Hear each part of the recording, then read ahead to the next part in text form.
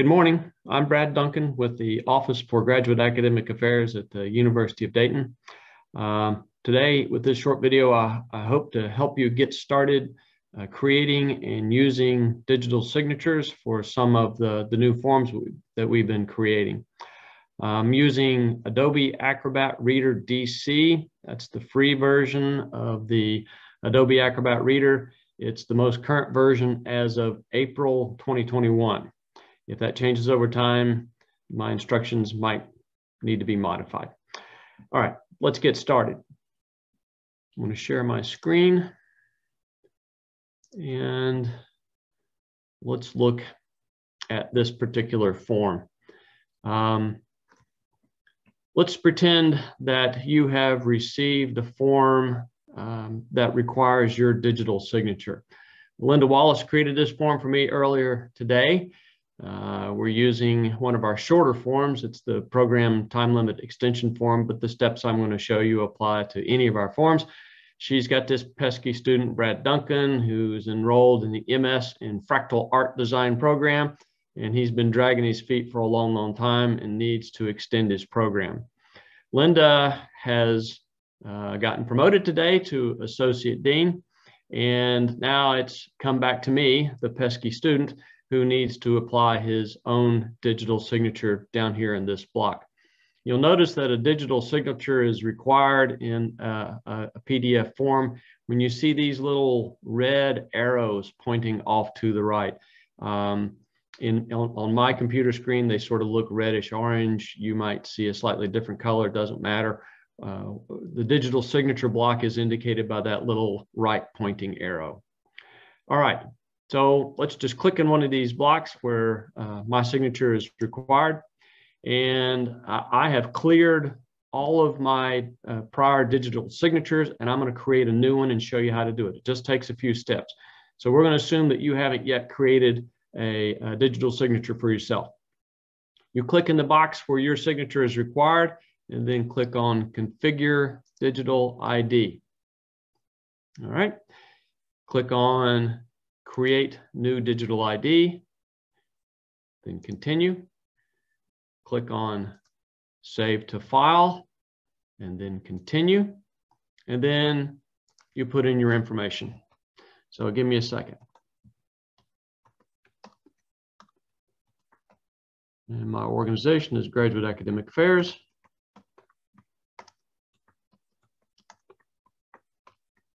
And we work at the University of Dayton. My email address.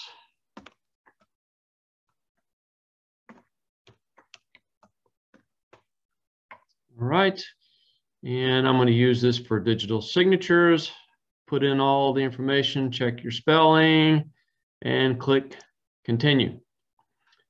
All right, now what you need to do is create a password. Your digital ID is going to be password protected. So give me just a second. After you put one in, you have to verify it.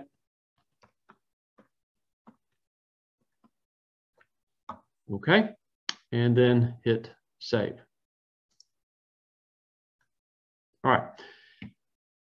It's possible to create multiple dig digital signatures for multiple purposes. You might have one for professional use at work. You might have one to sign on behalf of some uh, civic organization. You might have one that you create for signing private personal documents at home.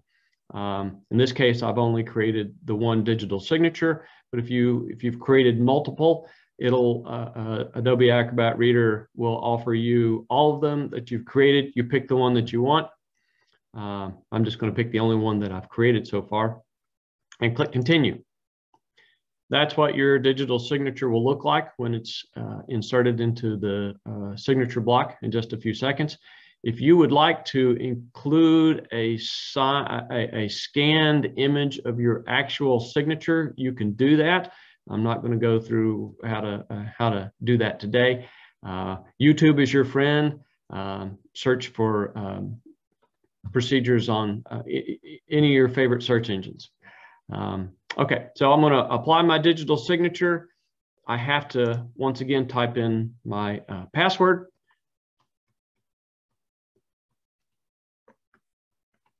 And click sign. The next thing I will be prompted to do is um, save the document. Before your signature will be added, you have to save the document. It'll save it and apply your signature simultaneously. I suggest if a unique name for the document you're signing has not already been uh, created, that uh, you give your document a, a, unique name. In this case, I'm using my initials and today's date. Uh, Linda uh, previously created that for me when she sent this form to me. So I don't want to say, I, I want to save it in the, the, the current document and not override an older document. I'm just going to click save. It'll ask me if I want to replace it. Yes, because I'm adding another signature to a document that needs multiple signatures. Just click on yes. And you'll see that my digital signature has now been applied. Okay. Uh, you'll notice also that the uh, digital signature includes the date as well as a timestamp. If you sign this digitally the proper way, you don't need to include any information in this date block. You can include it if you'd like, but your digital signature includes the date and timestamp. So it's, it's kind of redundant. You'll also notice, if you can see it, that there's an Adobe watermark here to indicate in, in part that this is an authentic uh, signature. And if I hover over it, hopefully you can see the little box that says that this is a valid signature.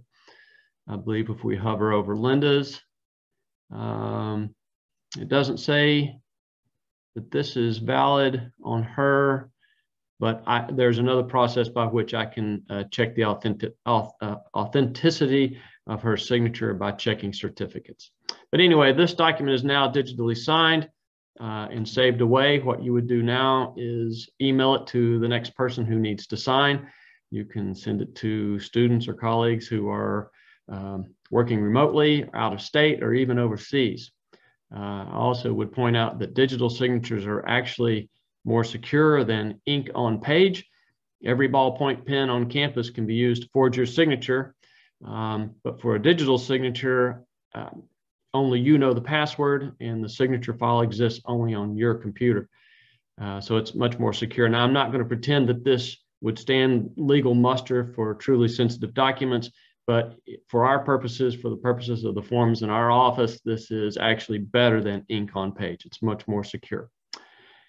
Okay. So what about our GA contract form? Let's take a look at that.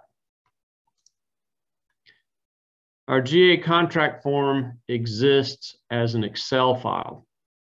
And as such, it's not digitally signable yet. So if you are the originator of a GA contract, you would fill it out in the ordinary way. You'd fill out the student's information, the position information, funding information, and all of that. And there's there's nothing for you to do right now. You can't sign, you can't digitally sign this document as an Excel file. What you need to do is first save it as a PDF. You go up to File, Click on Save As. Pick the folder you want it to go to.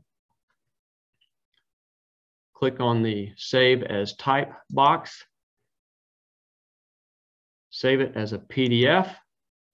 And then give it a unique name for the student that you're filling this out for. And maybe give it a date.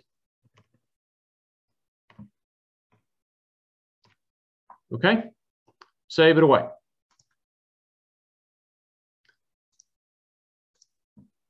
And then when you saved it away, you've saved it as a PDF document. Open that PDF document in your Adobe Reader software. So I, I haven't filled this out, but what I would like to do is I'd like to apply a digital signature down here in the signature fields.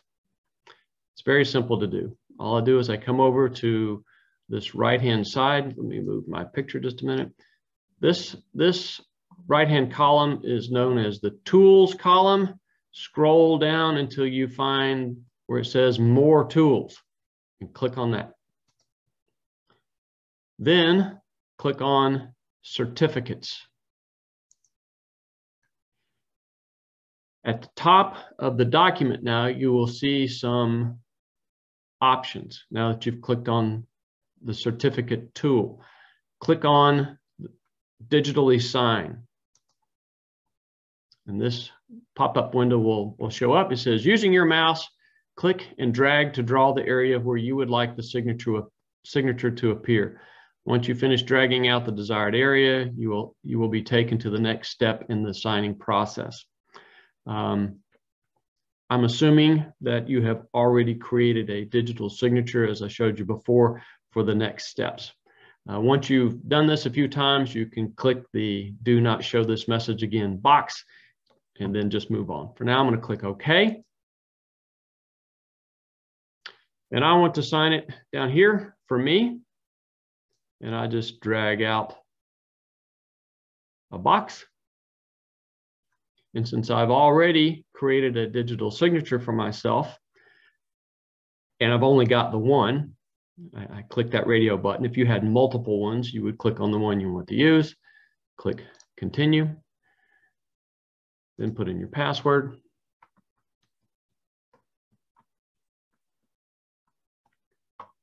Click sign.